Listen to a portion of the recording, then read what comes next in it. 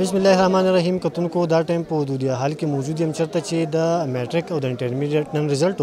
او زما سره پوزیشن هولډر چا چې فرست پوزیشن اغسته دی د میټریک په امتحان کې هغه سره به خبرې کوم السلام علیکم جی وعلیکم السلام دا راته وای نه مې وسه دا سو نمبر یو هغه سیو د کوم ادارې سره تعلق دی جی مانو مانو شرحمان دی او ما 1098 مارکس غستی فرست پوزیشن می راغلی او زه پبلک سکول سنگوټانه تعلق ساتم څومره خوشاله او نور طالب علمانو ته څه پیغام ورکول غواړي جی ډیره زیاته خوشحاله یم نن ډیره د خوشحالۍ خبره ده چې دونه زیات سټوډنټ کې زما فرست پوزیشن راغی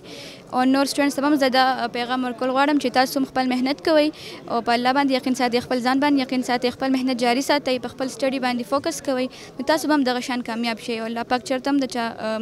مهنت چې دی هغه نه ضایع کوي نو تاسو هم بس مهنت کوئ داسې به تاسو کامیابیږئ ان شاء الله دا خو نن د خوشحالۍ ورځ ده چې د پس پوزیشن واغستو پوه نه شو 1000 ټامې نمبر یې واغستې پوه نو موږ ډیر زیات خوشاله یو دی ډیر مهنت کړی وو استادانو ورسره هم کړی موږ ورسره خپل هم کړی وو خدای پاک ورته د هغې حوصله میلاو کړله